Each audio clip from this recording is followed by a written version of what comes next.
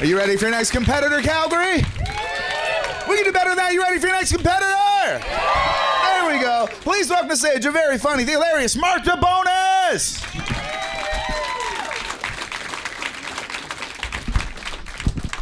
All right, uh, what's going on, guys? Nice. Okay, good, good. Just gonna get into this here.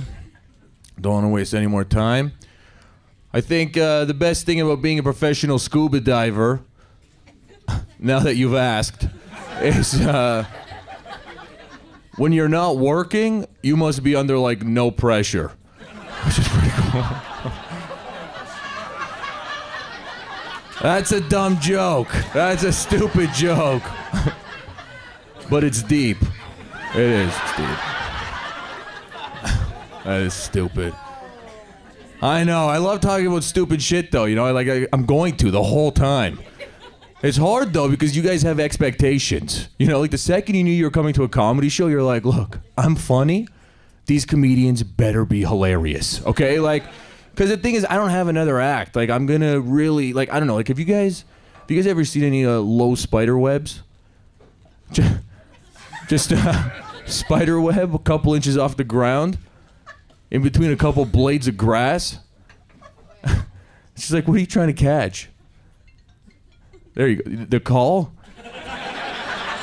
You know what? That phone could not have rang at a better time, so thank you.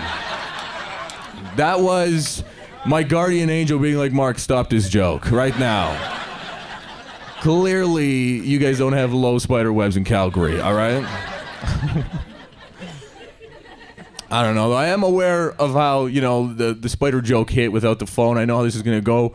I'm aware of it, okay? I have been told that my stand up is a little bit like jazz, where you watch it and you're like, I have no clue what the hell's happening right now. but it's kind of relaxing, you know, so uh, sit back and enjoy. Because there's a lot of questions like, how do we know that peanuts aren't evolving?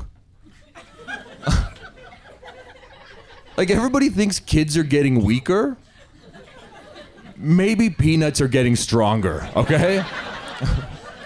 the question is why? Why are peanuts trying to take over? Things aren't going that bad though. I'm actually right now working on pitching a show to A&E. It's where crackheads renovate houses. Addicts and addicts is, uh, is so dumb. I take the bus, as you can tell with these jokes. These are not car jokes. I take the bus. You can't talk about spider webs and think you're gonna get keys to anything. I just take the bus. And like you don't need to take the bus to know if there's a bus stop. Okay? It's a pole, a couple different colors, picture of a bus. Sometimes it even says bus. Okay, like we get it. But what you may not know is you can't get on the bus if you're not standing at a bus stop. Okay? You're not a human being going to public transportation if you are not standing at one of their checkpoints. I was on the bus once, it was packed. Okay, we, we get to a red light, we're all standing like shoulder to shoulder. Some older lady starts banging on the door mid stop. Okay? Everyone's like looking around, trying to figure out what to do. The bus driver gets on the mic and he's like, Nobody look at her. if we don't see her, she's not real. You know? Light turned green, we left her in the dust, guys. Street rules. I was walking down the street and I hear this guy, and he's just like, Josh, Josh, Josh.